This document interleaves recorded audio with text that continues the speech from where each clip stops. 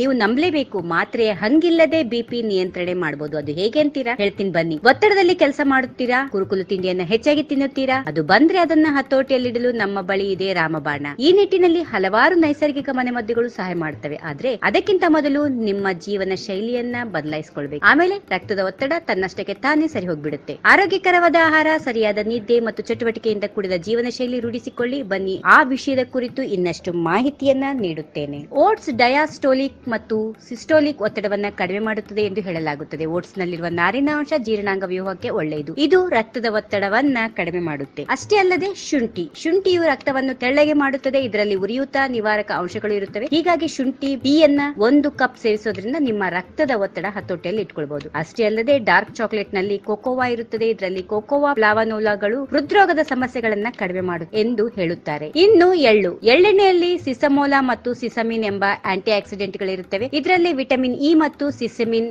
ಎಣ್ಣೆ ಇದ್ದು ಇದು ರಕ್ತದ ಒತ್ತಡವನ್ನ ಕಡಿಮೆ ಮಾಡುತ್ತದೆ. ಅಷ್ಟೇ ಅಲ್ಲದೆ ಮುಲ್ಲಂಗಿ ಹಾಗೂ ಅದರ ಎಲೆಗಳು ಸಹ ಬಿಪಿಯನ್ನ ಕಡಿಮೆ ಮಾಡುತ್ತವೆ. ಅದರಲ್ಲಿ ಪೊಟ್ಯಾಷಿಯಂ ಇದ್ದು ಅದು ದೇಹದಲ್ಲಿರುವ ಸೋಡಿಯಂ ಅಂಶವನ್ನ ಕಡಿಮೆ ಮಾಡೋದ್ರ ಜೊತೆಗೆ ಬಿಪಿಯನ್ನ ಸಹ ಕಡಿಮೆ ಮಾಡುತ್ತದೆ ಎಂದು ಹೇಳಲಾಗುತ್ತದೆ. ದಾಳಿಂಬೆ ರಸವನ್ನ ಸೇವಿಸೋದ್ರಿಂದ ಪಾಲಿಪೆನೋಲಿಕ್ ಎಂಬ ಆಂಟಿ ಆಕ್ಸಿಡೆಂಟ್ ಇದ್ದು ಇದು ಹೃದಯದ ನಾಳಗಳು ಕಟ್ಟಿಕೊಳ್ಳುವಿಕೆಯನ್ನ ತಡೆಯುತ್ತದೆ. ಹೀಗಾಗಿ ದಾಳಿಂಬೆ ರಸ ಸಹ ಉತ್ತಮವಾದ ರಾಮಬಾಣವಾಗಿ ಕೆಲಸ ಮಾಡುತ್ತದೆ. ತುಳಸಿ. ತುಳಸಿಯಲ್ಲಿ ಯುಜನಿಲ್ ಎಂಬ ಅಂಶ ಇರೋದ್ರಿಂದ ಇದು ರಕ್ತಡವನ್ನ ಕಿರು ಅವಧಿಯಲ್ಲೇ ಕಡಿಮೆ ಮಾಡುತ್ತದೆ. ಹೀಗಾಗಿ ಆರೋಗ್ಯಕರವಾದ ರಕ್ಷಕ ಮನೆಯ ಮದ್ದುಗಳು ಇರುವಾಗ ನಾವು ನಮ್ಮ ರಕ್ತದ ಒತ್ತಡವನ್ನ ಏಕೆ ಬೆಳೆಸ್ಕೊಳ್ಬೇಕು ಹೇಳಿ ಇವುಗಳನ್ನ ಬಳಸಿ ನಮ್ಮ ರಕ್ತದ ಒತ್ತಡವನ್ನ ಕಡಿಮೆ ಮಾಡಿಕೊಳ್ಳೋಣ. ಈ ಉರಿ ಬಿಸಿಲಿನಲ್ಲಿ ಒಮ್ಮೊಮ್ಮೆ ರಕ್ತದ ಒತ್ತಡ ಗೊತ್ತಿಲ್ಲದ ಹಾಗೆ ಏರಿಬಿಡುತ್ತದೆ ಇಂಥ ಮನೆಮದ್ದುಗಳನ್ನ ನಾವು ತೆಗೆದುಕೊಂಡು ನಮ್ಮ ರಕ್ತದ ಒತ್ತಡವನ್ನ ಹತೋಟಿಯಲ್ಲಿ ಇಟ್ಟುಕೊಂಡ್ರೆ ನಮ್ಮ ಆರೋಗ್ಯ ಸುರಕ್ಷಿತವಾಗಿರುತ್ತೆ.